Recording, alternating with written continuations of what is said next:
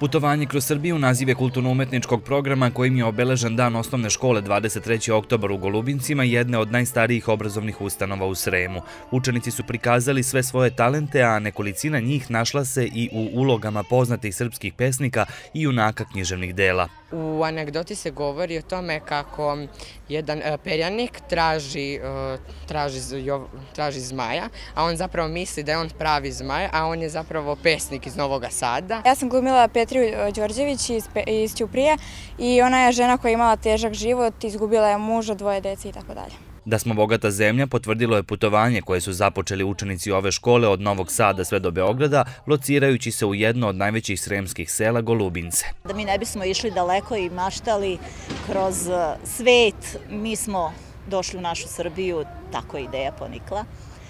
I onda smo htjeli da prikažemo ne samo velike gradove poput Novog Sada i Beograda, već neka manja mjesta. I dok pojedine škole u selima izumiru, Golubinačka već više od dva i po veka upisuje učenike od prvog do osmog razreda. U ovom momentu imamo 306 učenika.